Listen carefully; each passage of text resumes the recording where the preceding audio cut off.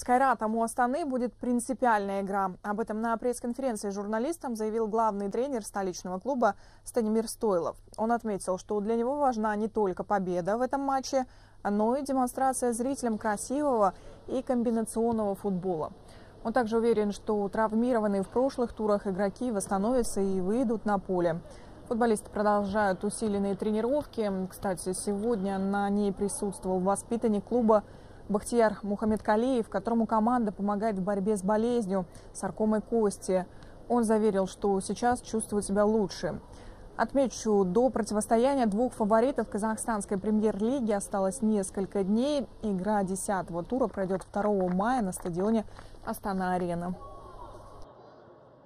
Сейчас будет нужен, наоборот, коренный, как сказать, различный футбол. Поле будет хорошее, футбол должен быть комбинативный, мяч будет быстрый тоже. Наша команда должен быстро вернуться на наш футбол, умный футбол, организованный, дисциплинированный. Надеюсь, что мои футболисты понимают ответственность игры и будет э, раз, отдает себя на, на 100% эта игра.